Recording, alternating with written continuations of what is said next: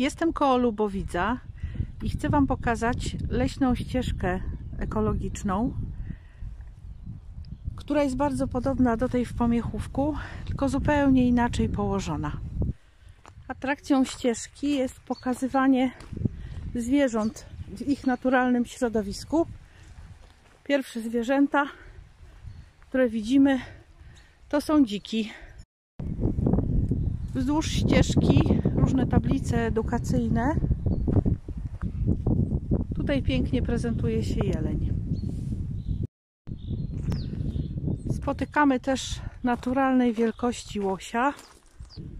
Stoi żubr, również naturalnych rozmiarów. Po drodze widać, że została zrobiona atrakcja dla dzieci. Po spotkaniu z wilkiem w skali makro pająk,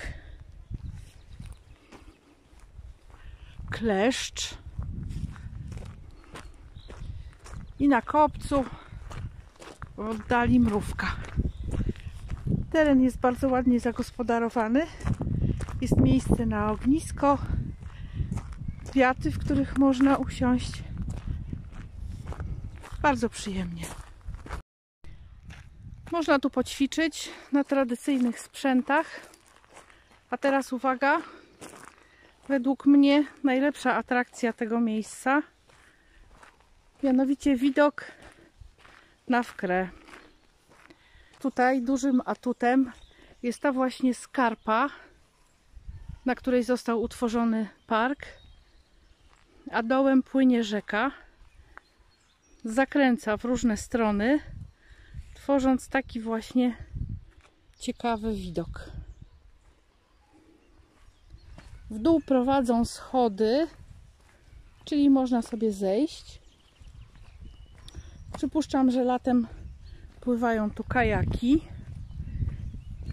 Jest też taki wąwóz, który został wykorzystany jako zejście, jako droga.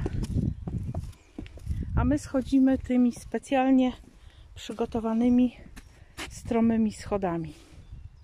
Po drodze można sobie przysiąść na ławeczce, odpocząć i popatrzeć na ten niezwykły widok. E, taka fajna sosna jeszcze tutaj w świetle rzeki. I dalej schodzimy w dół. He, całkiem stromata skarpa.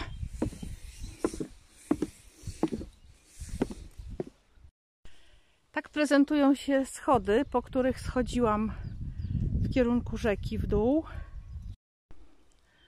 Nad samą rzeką oglądamy jeszcze rybki, które można tutaj złowić.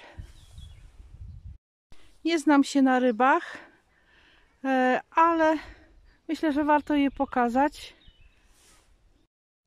Jeszcze jedna rybka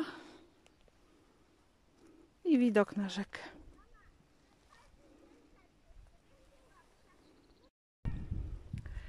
Głębokim wąwozem prowadzącym od rzeki płynie stróżka. Obok bajorka jest też całkiem pokaźnych rozmiarów rak. Jeszcze raz przepiękny widok na rzekę Wkrę z parku w Lubowicu.